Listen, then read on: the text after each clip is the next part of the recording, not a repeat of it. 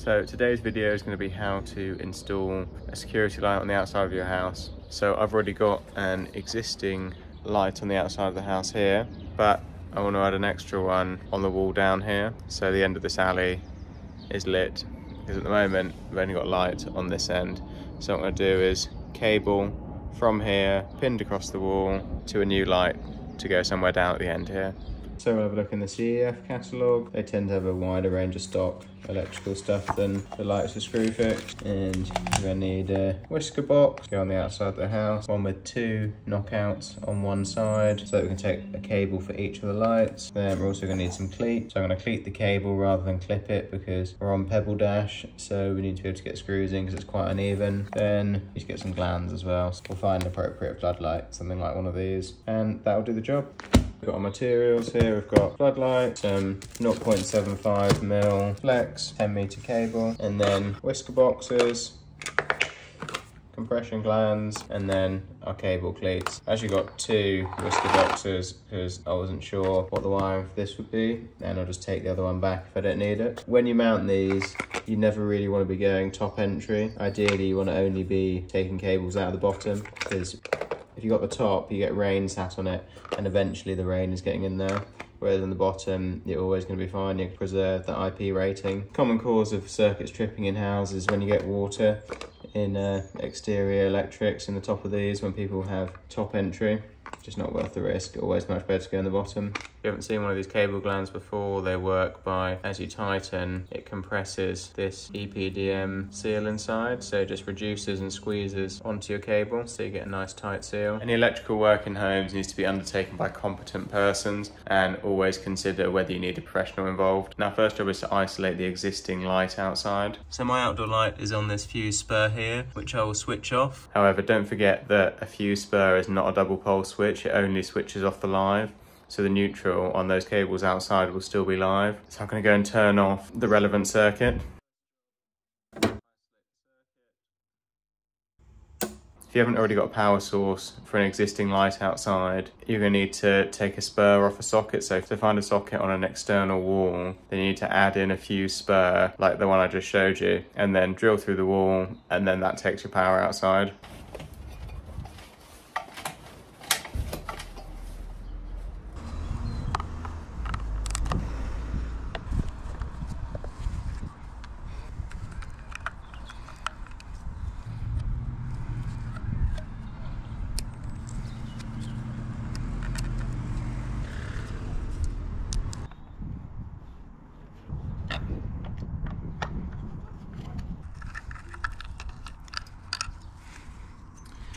So just removing the existing Wiska box and we'll be putting a new one on that's got two knockouts in the bottom. So we need to stick a hole in this back of this box, but I've got to work out quite where we put it so that, that cable fits in nicely. So I'm just using one of these cone bits, much better at going into plastic boxes than anything else. And then I'm just going to go in one of the corners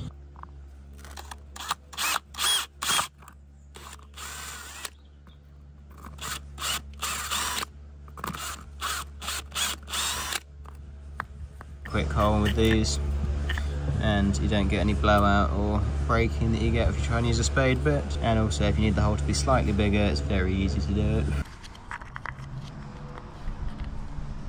Okay that'll work nicely on there. What I'm going to do is get a chisel and knock off some of these bits of gravel so they get a bit of a nicer flusher fit to the wall. It's very wonky at the moment. And then we use these two, come out the bottom so one for the existing light and then new one to go over to the new light.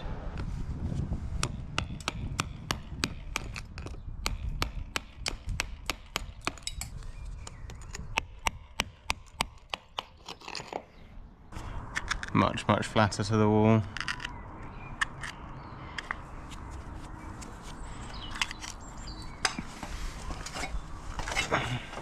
Right, so now I need to take out these two knockouts.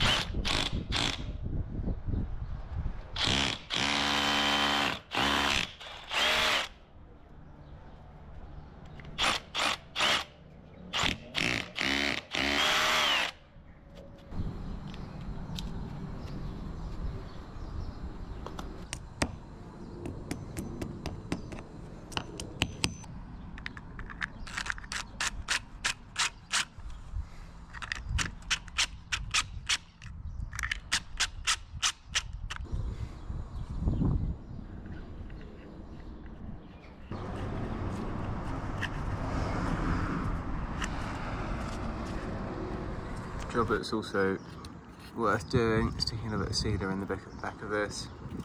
Exterior sealer just to stop any water coming into this box.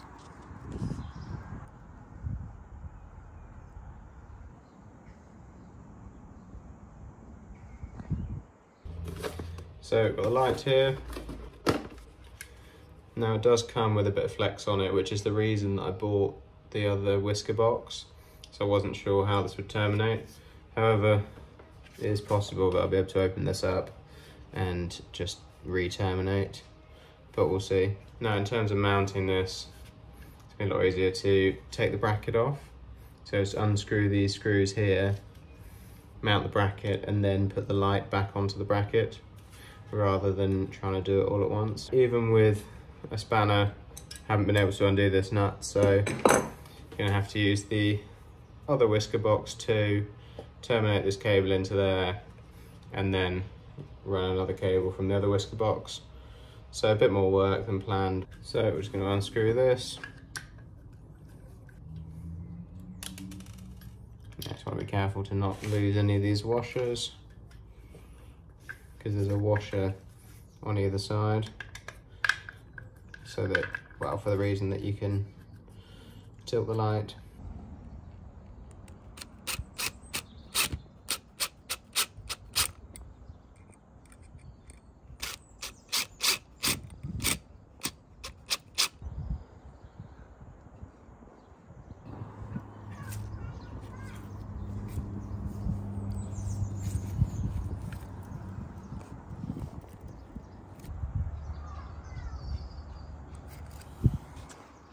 Now these Wiska boxes actually come with these mounting brackets, so you mount that to the wall, push the box onto it, and that squeezes into the back and locks it in. So I think I'm gonna have a go at just mounting this only. Same as the other one, gonna need to take out two knockouts. We've got one for the light and then one for the feed coming in. Fortunately, I bought four glands, so we've got two more glands to go in the bottom. M20 and they just screw straight in. So on the Wiska box, one of the great things about these is they're actually threaded. If you can see that there. So when you knock these out, you can just lose this end nut and then that just screws straight into there, which is pretty useful. So to match the light at that end, I'm gonna stick this Wiska box at the same height above it, about here or so. And I'm to break off some of this gravel so it's flat.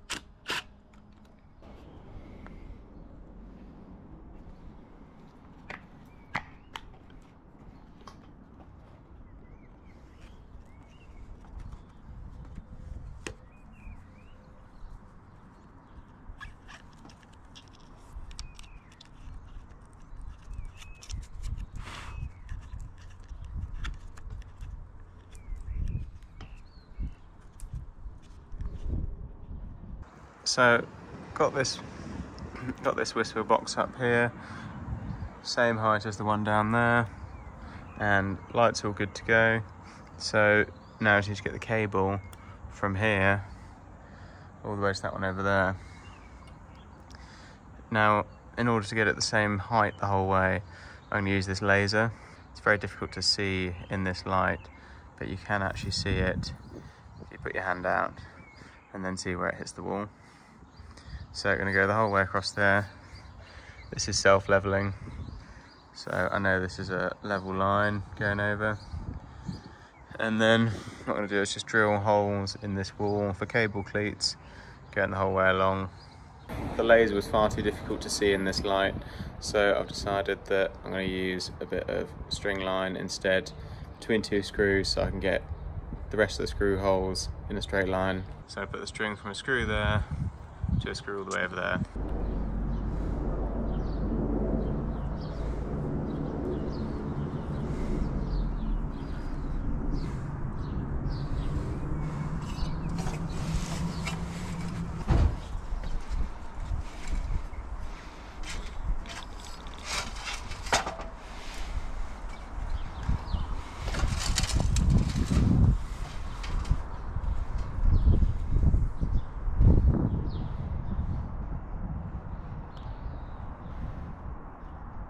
So I've got the string line set up, which has worked surprisingly well. And now I'll just work my way across that, drilling holes.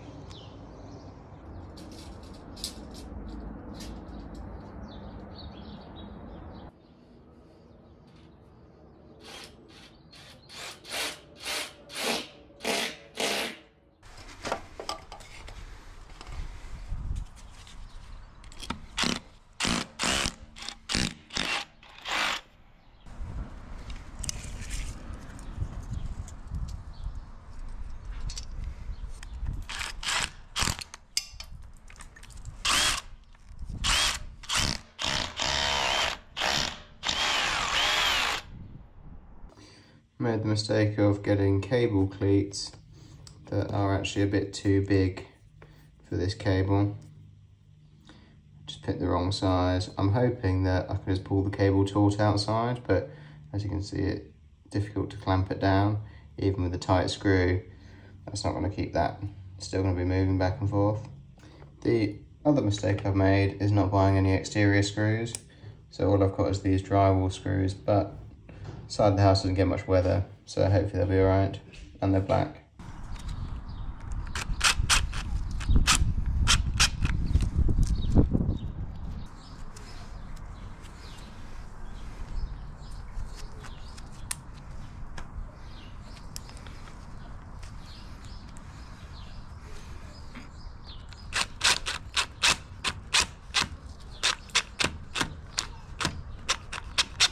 So cable is all in down the side, still not perfectly straight, but it does pull taut. And we'll just send that up into the box there. Again, use these drywall screws, which isn't really ideal. So tighten that up now, so we're all in the box.